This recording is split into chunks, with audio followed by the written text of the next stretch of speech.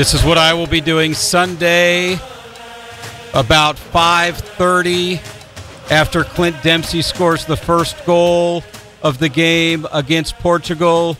Ole, ole, ole, ole. Oh. USA, USA. Joining me for my the segment I've been looking forward to more than anything else all morning long. Ty Keough, St. Louis soccer great. How you doing today, Ty?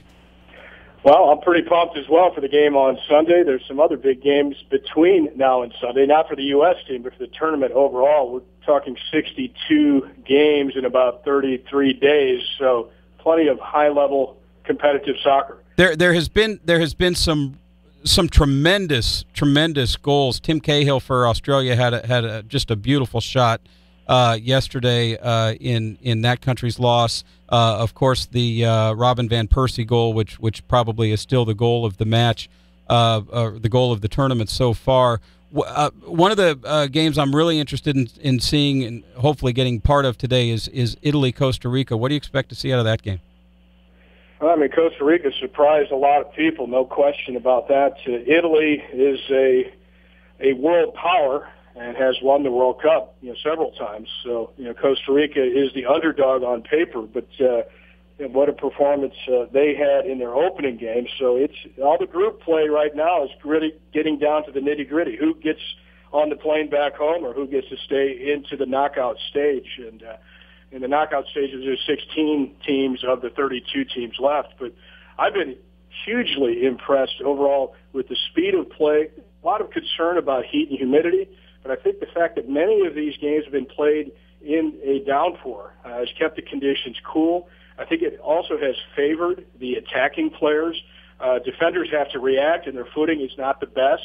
Uh, so we've seen a World Cup now, I think, still averaging more goals per game since any World Cup going back to 1958. And if I count correctly, I think there's been at least six games uh, where teams came from behind to win uh, in group play. So really exciting stuff. And and the pace of play, uh, again, due to the cooler conditions, I think with, with the rain uh, helping, uh, the pace of play has been phenomenal.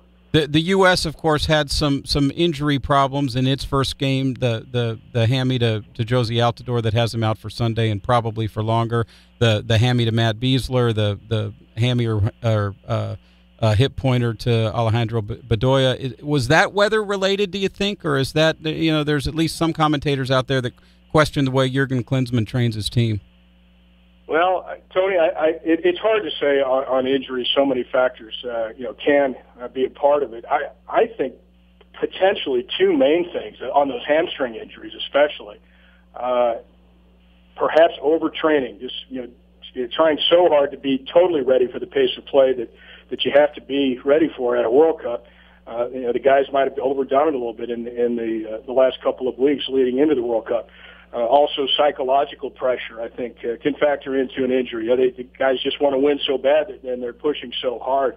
Uh, and you, you have to also uh, factor in just the intensity of play when you get to a World Cup. I mean, you play year in, year out in a, in a top league, let's say even in England or in Europe. It's not the same as a World Cup. The World Cup's only once every four years, and it takes on that much more magnitude in terms of pressure and intensity of, of physical effort uh, Clint Dempsey uh, had his nose broken and courageously uh, played on through the rest of the match, I think, pretty effectively, despite not really being able to breathe through his nose, and I'm sure being in a lot of pain.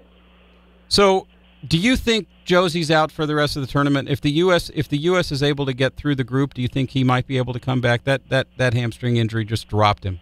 Yeah, it, it's really hard to say. Usually, a hamstring like that, and he, and he looked like he, he tore it up pretty good even a young guy's out minimum two weeks, uh, which give, would give an outside chance that he could contribute uh, if if we get into the knockout stages. So.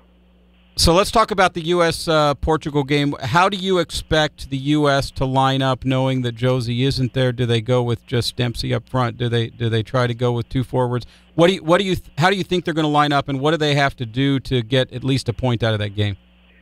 Well, obviously they, they have to limit the damage that Ronaldo can do. And many many people are of the opinion that Ronaldo for Portugal is the best player in the world, even better than Messi at this time.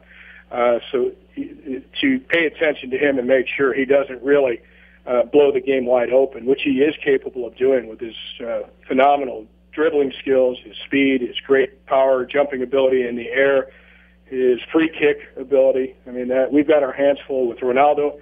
Uh, they will be missing Pepe, uh, probably their most experienced uh, central defender, so that helps us a little bit.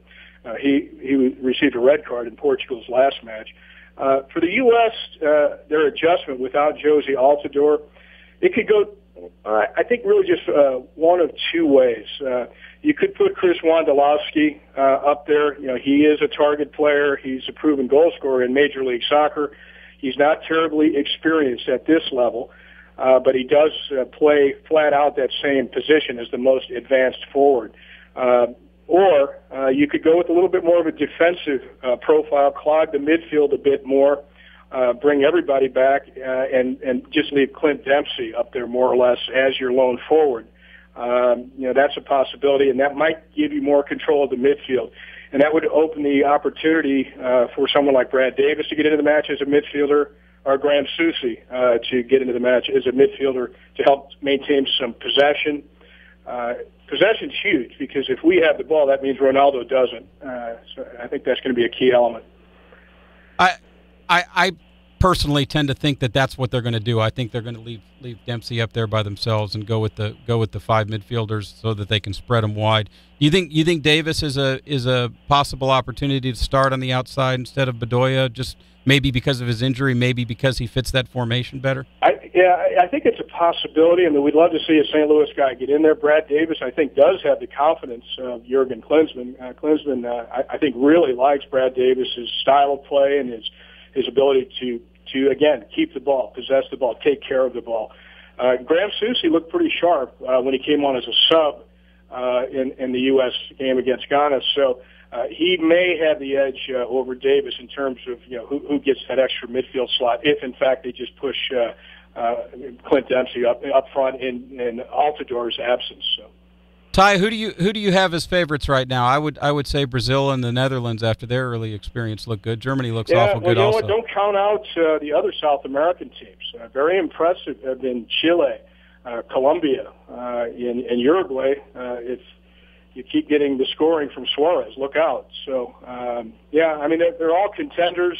Brazil's got to be the favorite, although they have not impressed. I mean, they, they've been disappointing.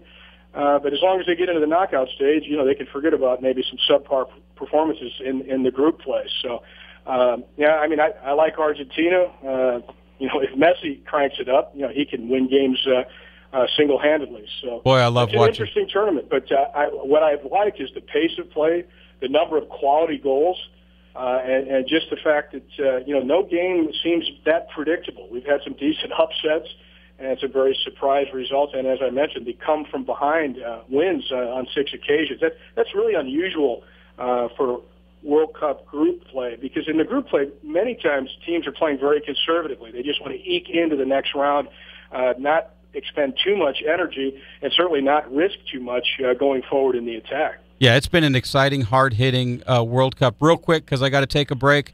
Uh, give us a score: U.S. versus Portugal Sunday night. Boy, uh, I'd settle for a tie. Uh, you know, with Ronaldo, especially if he's healthy on the field. Uh, but this is a spirited group of uh, young American players. I mean, it's not that experienced of a group, and maybe they're not that intimidated. So you know, Dempsey and, and Bradley, they're critical uh, in terms of possession and in terms of creating attacking chances. So if Michael Bradley has a better game, and I thought he had a subpar game uh, against Ghana, if he has a better game and Dempsey can kind of deal with that broken nose and still contribute, uh, you know, we've, we've got one of the best goalkeepers in the world, Tim Howard. He's going to keep us in most games. So uh, I'm hopeful, but it's a big challenge. I mean, on paper, Portugal should beat us. They're missing their most experienced defender. Ronaldo's knee is a little bit iffy, um, and we got to fight and battle and see what happens. And there's already been several surprises in this tournament. But a win by the U.S. against Portugal, I still think for most folks would be a surprise. Got to go. Thanks, Ty right. I really appreciate the World Cup talk. Tony Messenger filling in for McGraw.